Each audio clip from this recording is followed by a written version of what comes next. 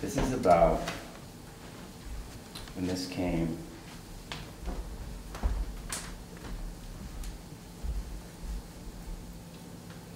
Literally,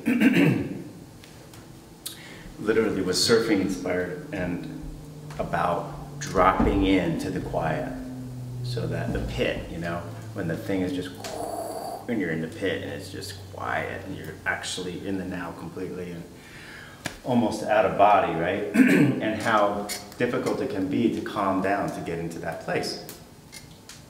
And surfing helped me a lot with that, you know, as far as rinsing out the energies and just being able to get still and in the now and in the present. Surfing is a very, you have to be present, or the, and the wave is running everything, and you're just finding the balance point on the wave, right? You're not the wave, that's very clear, right? So your job is to be at the right place on God's movement. So if you're not quiet within, you know, you're not going to find that, and then you get pitched over the falls, you eat it, you know. So that's where this came in one day, because I was I was remembering that I haven't played in so long, but I'll remember it. It'll come back. Dropping in, relieved, bottom turning, in elation.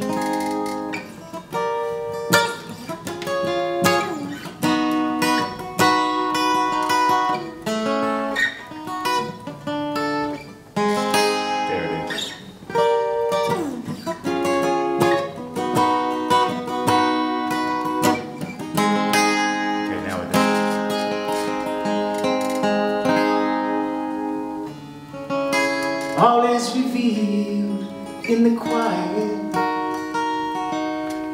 Come on in.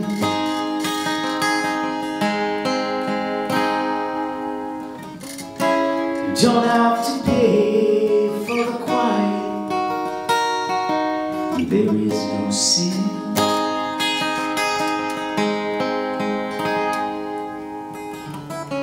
But you can find yourself in the quiet.